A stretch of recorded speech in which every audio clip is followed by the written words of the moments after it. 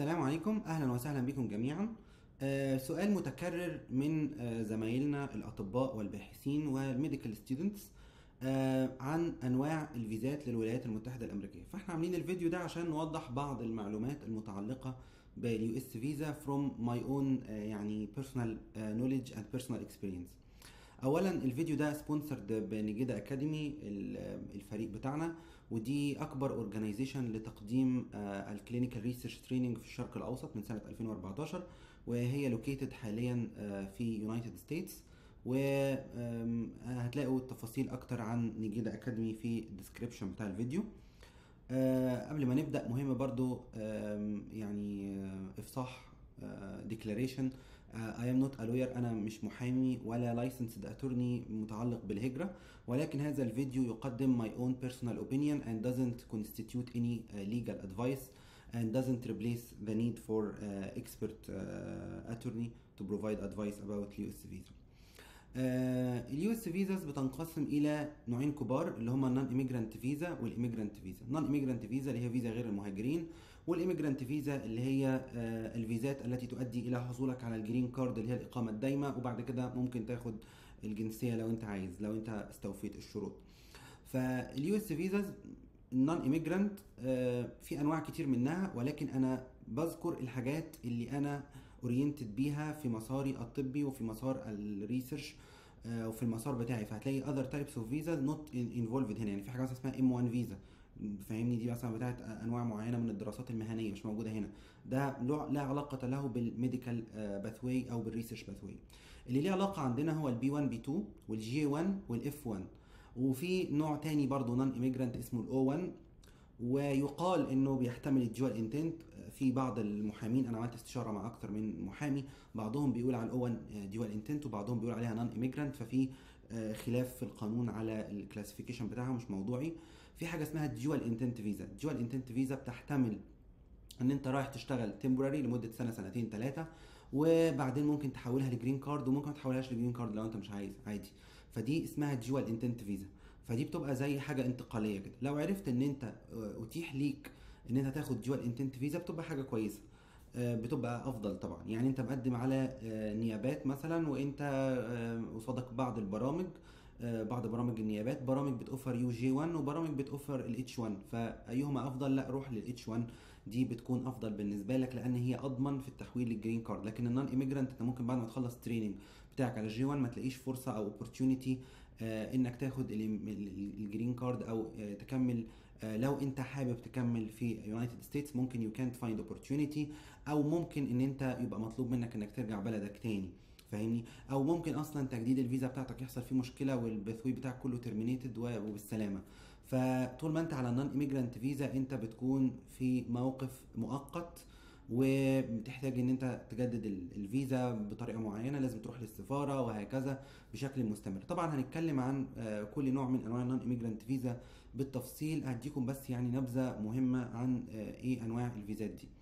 ال non-immigrant visa النوع الأول B 1 B 2 ده اللي هو business and tourism ده أول حاجة short term visa maximum maximum الفترة الزمنية اللي انت ممكن تقعدها على ال B 1 B 2 هي 180 يوم من يوم دخولك. يعني مثلا انت خدت الفيزا بتاعتك valid لمدة شهرين على سبيل المثال. الشهرين دول مسموح لك تسافر فيهم. فاهمني؟ انت مثلا رايح مؤتمر أو رايح conference أو tourism أو plan هتقعد مثلا 3 شهور. فأنت ممكن تاخد الفيزا شهرين ممكن تاخد الفيزا 3 شهور ممكن تاخد فيزا سنة ممكن تاخدها خمس سنين. وبعض الدول زي الهند بياخدوها 10 سنين. ده مش معناه إنك ممكن تقعد 10 سنين. لا ده ده الفترة الزمنية اللي أنت مسموح لك تسافر خلالها. ففيزات أمريكا مختلفة عن فيزات الدول التانية. إن ال validity length of visa مش الوقت اللي أنت هتقعده. لا ده الوقت اللي أنت هتسافر فيه لل port of entry وعلى ال port of entry في المطار بت apply على إن أنت تدخل الولايات المتحدة الأمريكية فبيختم لك على الباسبور إن أنت ليك فترة زمنية مقدارها كذا.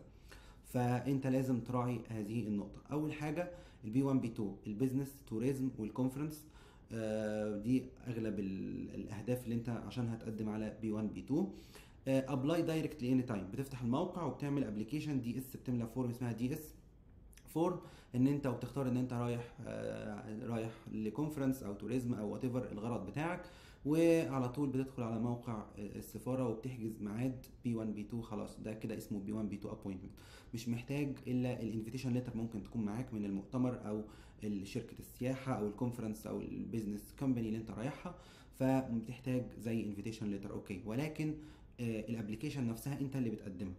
خلافا لده ال J 1 فيزا مثلا انت ما ينفعش تروح تقدم بمزاجك. حتى لو انت accepted انت accepted مثلا في research position أو في برنامج نيابات مش مش بمزاجي هروح رايح السفارة واملى application لا. ده لازم هناك ال institution المستضيف ليا بيكون عنده حاجة اسمها international office بيعمل عنك background check وبياخد بياناتك ال CV بتاعتك انت جاي تعمل إيه وبيتواصل هو مع ال Department of State مع وزارة الخارجية وبيخلص لك ورق ال exchange visitor حاجة اسمها ال SEVIS وبتبعت لك انت بقى ورق ال SEVIS ده بالبريد وانت بتدفع التكلفة بتاعت ده أو ال institution بتاعك بيدفع الورق ده وبتيجي لك دي ورقة من ال Department of State أهم ورقة مع الباسبور بتاعك من غيرها أصلا ما تدخلش الولايات المتحده الامريكيه ومن غيرها أصلا ما تروحش ال interview حاجة اسمها ال SEVIS فال SEVIS دي ال exchange form information ودي بتوصلك ممكن تستغرق حوالي 3 شهور approximately في المتوسط 3 شهور ممكن 4 شهور على ما توصلك هذه الورقة. فمش معنى إن أنت accepted في residency position أو إن أنت accepted في research position أو whatever أو training على ال J1 إن أنت هتروح تقدم بكرة. لا ده أنت لازم بت process some information في الجامعة بتاعتك أو ال institution وال international office بتاعه بيخلص الورق مع Department of State وبيبعت لك أنت ال SEVIS بتاخد أنت ال SEVIS ده وبتدخل أنت ت apply وتحجز ميعاد عشان تروح ال interview بتاعت ال J1 visa ال J1 visa وبالتالي need sponsor مش بمزاجك بتروح تقدم خلافا لل B1/B2 انت بتقدم من بكرة. عايز تسافر بكرة مثلا مؤتمر خلاص بتجيب invitation letter وتقدم انت. لكن ال J1 لا انت محتاج sponsor institution وال validity بتاعتها renewable up to 7 years كل سنة بتحتاج إن انت ترجع تجددها و up to 7 years ممكن تحصل على ال J1 فال J1 ال maximum الفترة الزمنية انت ممكن تقعد عليها هي ال J1 ال J1 طبعا ممكن تجيب ممكن تجيب your wife عليها. فبتبقى J2 J2 دي اللي هي شركة حياتك. يعني انت انت مثلا رايح على J1 هي وهكذا. أو العكس هي هي مسافرة على J1 فهي ممكن تجيبك على J2 وهكذا. أما ال B1/B2 ما فيهاش option إن انت تجيب شركتك معاك. ال F1 visa هي اللي برضو لو انت married ممكن تجيب شركتك على F2 visa ال F2 visa mainly لل education education بتاخد عليه credit hours رايح مثلا تدرس language رايح تدرس business administration master رايح تدرس PhD فال F1 visa دي مخصصة لل study في واحدة تانية لل studies مثلا اسمها M1 بس دي لل... للتعليمات المهنية مش للتعليم المهني مش مش mostly مش بتبقى related لينا. وده برضو محتاج sponsor institution ال institution اللي انت accepted فيه في ال PhD program بيبعت لل Department of State وبيخلص لك ورق ويبعت لك حاجة اسمها ال I-20 دي application بتاخدها انت وتحجز ميعاد في السفارة وتروح تقدم. ال F1 visa maximum validity بتاعتها خمس آه خمس آه سنين. ال J1 وال F1 ممكن تدخل الولايات المتحدة الأمريكية قبل الميعاد بتاع بدء ال program ب 30 يوم. يعني انت مثلا البرنامج بتاعك هيبدأ يوم 1 7 فممكن تسافر يوم 25 6 ممكن تسافر يوم 15 6 it's okay. فال F1 وال J1 انت ممكن تروح قبل ميعاد بدء ال program ب 30 يوم. آه ولكن في بعض ال visaات لها شروط. يعني ال F1 مثلا maximum انت مش غير مسموح ليك بالعمل على ال F1 انت رايح تدرس. فانت مثلا PhD student غير مسموح ليك بإنك تعمل أكتر من 20 ساعة مثلا work related لل PhD program بتاعك يعني تشتغل مثلا graduate research assistant يعني يعني مثلا تدي بعض المحاضرات مثلا وتاخد مقابل مادي على ذلك. ف maximum ال hours اللي انت ممكن تشتغلها هي 20 ساعة. أكتر من كده يعتبر violation لل visa. ممكن يلغوا لك الفيزا بتاعتك ويرجعوك تاني أو ما ي terminate ليك ال career pathway بتاعك. فأنت لازم تكون واخد بالك كل كل visa each visa has its own conditions and instructions. You need to be aware of this to avoid violating any uh, laws. أو the, the law. فال PhD program ال F1 visa maximum work hours 20 hours في الأسبوع 20 ساعة في الأسبوع ويكون related لشغل ال PhD بتاعتك. وهي زي ما أنتم عارفين محتاجة sponsor institution وبعد ما تخلص ال PhD معاك فترة سماح حوالي 60 يوم. طبعا في application انت بتقدمها ان انت ممكن خلال 60 يوم دول عشان انت لو حصلت على وظيفة أو something like this فانت بيكون ليك 60 يوم طبعا بس ليها ليها ظروف معينة انت ممكن تبحث فيها أكتر يعني. ده بما يتعلق بال B1/B2 و J1 وال F1 مشكلة ال non-immigrant visas أمريكا هي دولة قائمة على الهجرة. ففي نظر ال officer في نظر ال officer ال consular officer كل الأشخاص المتقدمين لل non-immigrant visas يعتبروا مهاجرين حتى يثبت العكس. تاني تاني في في القانون كده كل المتقدمين لل non-immigrant visas يعتبروا مهاجرين حتى يثبت العكس. وإعطاء الفيزا من عدمه it's only by determination of the consular officer. The consular officer has 100% control over the decision whether to grant you the visa or not. فلازم تبقى عارف إن الموضوع آه، مش متوقف على المؤتمر ده قوي أو المؤتمر ده ضعيف. لأ It, it's mainly depending on the uh, interview and and the consular officer decision whether you meet this criteria or not. وإن أنت قدرت تقنعه بغرض هذه الدراسة أو غرض السفرية اللي أنت رايحها دي ولا لأ. فمهم جدا إن أنت تضع ده في الحسبان.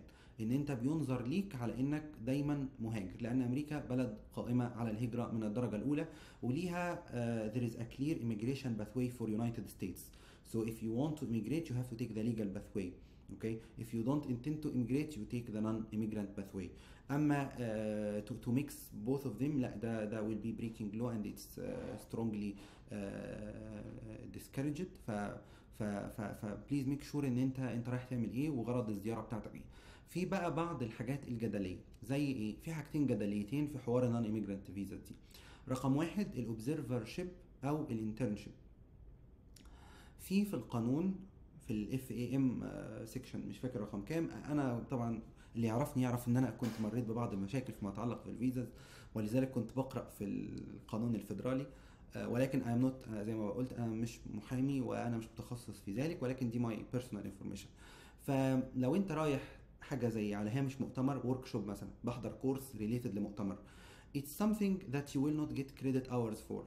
فالقانون بيبيح آه، بعض أنواع ال- التدريب ال short term course أو ال short term training اللي انت ما بتاخدش عليه credit hours و doesn't count as education in your university or in your educational system ولكن هو فقط زي آه، تدريب آه، شخصي تدريب شخصي أو work على هامش مؤتمر. فال observership برضو من الحاجات اللي بتندرج تحت هذا ال- تندرج تحت هذا البند. ولذلك في ناس بتسافر observership some consular officers will grant you visa to do observership. on B1 B2 because you are not involved in any clinical training you don't get any official credit hours and it doesn't count as a clinical training. You and you don't touch the patient you are not employed and you don't get any salary. So it's just of the observation of the system and how things are are, are going. It's like short-term training and you are observing only. Some consular officers will grant you the visa for this purpose. But for other uh, consular officers and in, in other situations if you will get credit hours like إن دي clinical elective فهتشيل من عنك some credit hours في الامتياز. ده النقطة الجدلية. If you will do this لا. ما ينفعش. تاني لو ال training ده هتاخد عليه credit hours هتاخد عليك مكتوب كده في ال invitation letter غالبا مش هينفع إن أنت تروح على B1 B2 وغالبا هترفض الفيزا بتاعتك. تمام؟ لو أنت if you will take any form of short course او education that will give you credit hours and will count as formal uh, formal education in your education system او هنا في امريكا uh, it's unlikely that you will be able to get this on B1 B2 visa you have to go for G1 exchange and you need to ask your institution to sponsor you for this visa فبليز ميك شور انت الاوبزرفرشيب او الانترنشيب اللي انت رايحها دي آه، آه، توصيفها ايه وات از ذا ديسكريبشن اوف ذيس تريننج ال duration بتاعته قد إيه؟ لأن ال duration بتاعته لو طويلة مش هتعرف تعملها على B1 B2 وهل ده بيديك credit hours ولا not وهل ده sponsored ب J1 visa or not ده كلها حاجات أنت محتاج إن أنت تقررها قبل ما آه، قبل ما تقدم على الفيزا. طبعا في بعض ال institutions هتلاقيه بيوفر opportunities observership و internship بس يقول لك مش ب sponsor visa. فما تخاطرش بنفسك وتروح تقدم على B1 B2 لو ال institution بتاعك مش بي sponsor الفيزا المناسبة أو مش راضي يديك invitation letter don't take any risks لأن آه، آه، الخطأ الخطأ حتى لو سوء تفاهم حتى لو غصب عنك حتى لو غير مقصود منك بيتكتب وبيتسجل عندك في ال system. بتلاقي عندهم history بتاع التقديم بتاعك كله والرفض القديم كله. بتلاقي عنده ال history وقاعد يقرأ في ال interview فدي من الحاجات اللي أنت محتاج تاخد بالك منها. Miss with uh, US visas. uh, you should be straightforward and uh, you need to be very cautious. ال J1 exchange طبعا training clinical training زي residency research training زي حد رايح research fellowship أو exchange مثلا برامج ال exchange بتاعت السفارة مثلا أو أو بعض الجامعات مثلا في أمريكا ومصر أو في أمريكا والأردن something like this. ف if there is some formal exchange program غالبا بيبقى على ال J1 visa لو أنت رايح research fellowship بتبقى غالبا على ال J1 exchange وزي ما قلنا ال maximum ليها سبع سنين. ولكن ولكن لما لما الولايات المتحدة الأمريكية فتحت مجال ال J1 exchange visa بعض الدول النامية بدأت تتهم ال US بإنها بتعمل brain drain إن الناس المتميزين والمهره بيروحوا United States يتعلموا ياخدوا skills وبعدين ما يرجعوش يفيدوا بلدهم تاني. فاتحط فقرة في القانون آه، اسمها في الفقرة 212 إن أنت لو sponsored by government سواء دولتك أو ال US تاني لو أنت funded by federal money من آه، الولايات المتحدة الأمريكية أو آه، من your country لازم ترجع بلدك لمدة سنتين. ف there is rule سواء أنت كنت clinical أو سواء أنت كنت research لازم تقضي سنتين. طبعا whether the rule uh, to want to apply for your visa or not the, the decision is done by the consular officer during the interview and you will receive this as annotation on your visa. هتلاقي annotation على الفيزا بتاعتك. مكتوب فيها إن أنت ال 212 apply ولا doesn't apply فأنت اللي بيحدد ده لا أنا ولا أنت ولا ال program ولكن آه، هو ال consular officer وده بيزد على ال nature of funding غالبا ال- لو أنت funded by US government or your own government غالبا بتاخد 212 ولو أنت not funded غالبا مش هتاخد 212 لو أنت not funded بحد منهم آه، حتى يعني في بعض الناس ممكن يبقى funded ب third party ب industry مثلا غير متعلقة بالحكومة دي ولا الحكومة دي. ممكن ما ياخدش 212 عادي وهتلاقيه وهتلاقي ناس كده كتير وعادي. لكن لو أنت funded by government غالبا يعني أنت funded مثلا رايح مثلا Fulbright if you are going for Fulbright research fellowship مثلا يعني research fellowship funded by Fulbright غالبا مطلوب منك ترجع بلدك سنتين. وده هتلاقيه موجود دايما في معظم يعني حتى in UK برضه is similar uh, condition. لو انت واخد fund مثلا من ال من ال من السفارة البريطانية من الحكومة البريطانية زي منحات زي شيفنينج مثلا هتلاقي مطلوب منك إنك ترجع بلدك عدد معين من السنين. فدي حاجة بيعملوها عشان يمنعوا ال brain drain فأنت خلي بالك. طيب في حد يقول لي ممكن في waiver آه ال J1 لو انت clinical training ممكن تعمل waiver زي إن انت مثلا في أمريكا واخدت نيابات واخدت نيابة وخلصت النيابة بتاعتك. مش هتعرف تنقل ل green card ولا تعرف تقبلها ال green card من غير ما تكون عملت ال waiver بتاع ال J1 فال waiver ده بتروح تشتغل في underserved area منطقة نائية تشتغل clinical it's okay لمدة لفترة زمنية معينة لحد ما ت waive ال- ال- غالبا سنتين لحد ما ت waive هذا ال ال ال ال هذا الشرط. طيب لو انت research research مالوش waiver مشكلة بقى ال J1 لو انت أخدت J1 research position research fellowship funded بال US government أو grant من ال NIH مثلا. يعني الأستاذ اللي أنت رايح معاه واخد fund من ال NIH فلو أنت أخدت J1 visa عشان تروح تشتغل مع هذا الأستاذ على ال project ال fund من ال NIH حتى لو الجامعة private طالما ال fund من US government غالبا هيبقى منطبق عليك ال 212 فبتبقى مضطر إن أنت ترجع بلدك لمدة سنتين. ولا يسقط هذا الشرط. إن شاء الله تعمل اللي تعمله. خدت طلع لك green card lottery قدمت على جرين كارد ان اي دبليو أو إي بي 2 جالك offer هناك اتجوزت واحدة أمريكية whatever حصل لك لو اتشقلبت هذا الويفر كان نوت بي ويفد باي اني فورم ملوش أي بديل.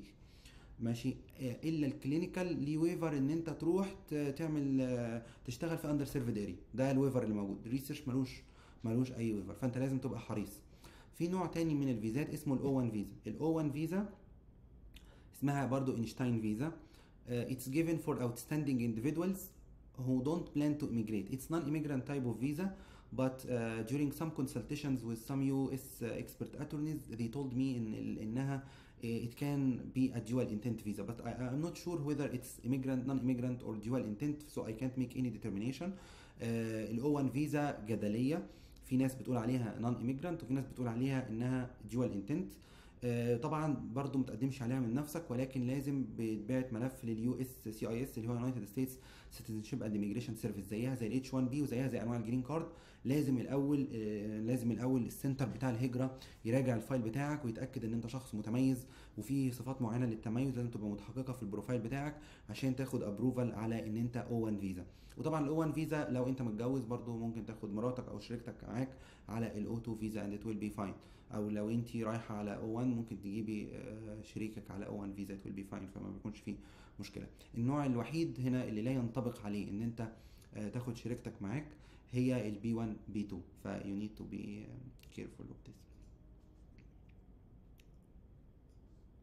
طيب ال dual intent أشهر واحد ليها الاتش 1 بي الاتش 1 بي فيزا دي اسمها specialty occupation وغالبا هتسمع عنها كتير في التكنولوجيا مثلا شركة جوجل مثلا آه، ابل مايكروسوفت الشركات دي لما بت hire الناس ال specialized اللي عندهم special knowledge and they are applying this kind of work in practice or industry or in research فهم عندهم some special knowledge important for uh, type of businesses. فبيجيبوهم على ال H1B وال H1B it can be uh, you, you can then uh, transform this to green card. فأنت you can apply for green card من ال H1B وبتكون يعني ال- ال process مضمونة. يعني مش زي ال non immigrant ال non immigrant لو انت على J1 visa وخلصت uh, وخلصت مثلا research fellowship وعايز تقدم على employment based ك researcher فلو ال petition بتاعك denied هترجع بلدك. أما H1B it's almost guaranteed إن أنت you can transfer from H1B you can apply for green card فدي مضمونة. ولذلك if you have the offer في بعض في جامعة اسمها نورث ويسترن يا ربي في جامعة في جامعات معينة بت... بتمنح research positions research fellowships على H1B يعني عددهم محدود قوي.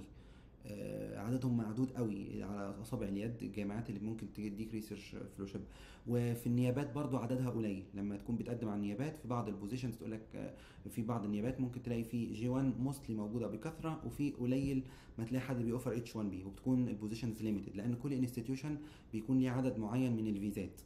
وحاجة تانية إن ال H1B visa ليها cap يعني إيه؟ ليها cap في السنة حوالي 65000 وكنت قريت مرة إنها حوالي 80000 في السنة الواحدة فاهمني؟ فكل institution بيبقى ليه عدد معين من الفيزات هو حاجزها فاهمني؟ فبيكون مرات في waiting time وفي بالانتظار فاهمني. فلازم تعرف إن الفيزات دي بعدد محدود ومش كل ال institutions ولا كل الجامعات ليها ال option ده فاهمني؟ جامعات معينة و institutions معينة وشركات معينة وبيكون ليها زي ما قلت لك كده كل مكان أو كل آه، جامعة ليها كوتا ليها رقم معين بيجي لها كل سنة. فبيضطروا إنهم يختاروا بقى يفلتروا مين الناس اللي هياخدوا ذلك. وبالتالي مش بتكون موجودة بوفرة. طبعا it require sponsor sponsorship وال time بتاعها حوالي 3 سنين. ده الت- ال time الطبيعي إن أنت بتقعد على ال H1B visa 3 سنين وبعدين تحولها ل green card ولكن it can be extended ل ل 6 years. وطبعا بتعرف تجيب شريكتك لو أو شريكك لو أنت متجوزة أو لو أنت متجوز على ال H1B visa فهي ميزتها إنها dual intent فأنت مش مش عرضة لمشاكل ال J1 زي إن أنت محتاج كل سنة ترجع وتجدد و... وتجدد ال- الفيزا كل سنة وممكن تترفض وممكن تحصل لك مشاكل وهكذا.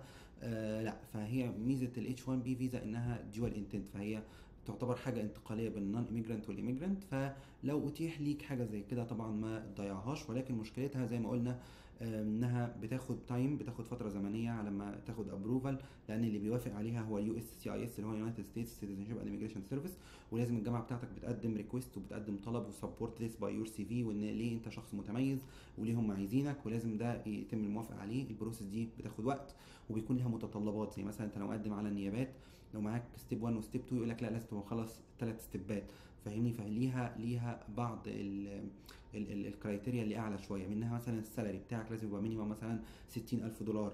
فليها بعض ال requirements اللي أنت لازم تبقى meeting هذه ال requirements عشان تقدر إن أنت تاخد ال H1B visa وإن شاء الله بيكون في لينا لقاء تاني بنتكلم فيه بالتفصيل أكتر عن ال employment based تحديدا ال NIW وال EB 1 A والمتعلقة بال research والمتعلقة بال medical أنا مش خبير في الفاميلي بيزد فاي كانت جيف يو انفورميشن عن الفاميلي بيزد اللي هو إنك تسافر لم شمل أو أو ان أو إن شريكك أو شريكك جاله green card فأنت ممكن تسافر معاه. أو حد من عيلتك من ال first relative عندك معاه جنسية فبيعمل حاجة اسمها لم شمل. وفي ال diversity اللي هي ال lottery. ال lottery اللي أنت طبعا أنتوا عارفينها اللي هي القرعة العشوائية. ال employment based طبعا هنتكلم عنها بعض في EB 1 2 3 و 4 5 هنعمل فيديو عنهم إن شاء الله. وإيه اللي ممكن تقدم من نفسك؟ وإيه المتطلبات بتاعت كل واحدة؟ والصعوبة بتاعتها؟ وهكذا إن شاء الله هنغطيها في فيديو آخر وأتمنى إنكم تكونوا استفدتوا. ولو استفدتوا من الفيديو ده ممكن تشاركوه مع زمايلكم المهتمين وهنتظر تعليقاتكم آه، على هذا الفيديو. شكرا جزيلا ليكم. مع السلامة.